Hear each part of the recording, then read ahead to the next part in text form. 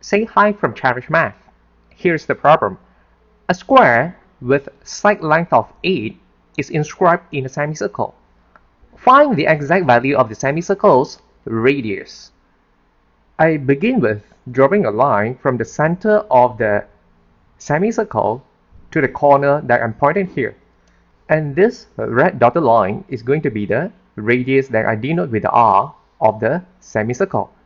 The height of the square is at 8 unit.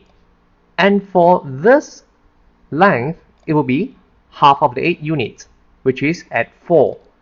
And the triangle that formed here, it is at a right triangle. And now, for the value of the r, I'm going to use the Pythagoras theorem to solve the problem. That would be the square root of 8 square plus 4 square. That would be a square root of 80.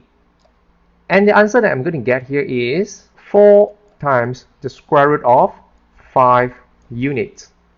And we solve the problem. Thanks for watching and please subscribe.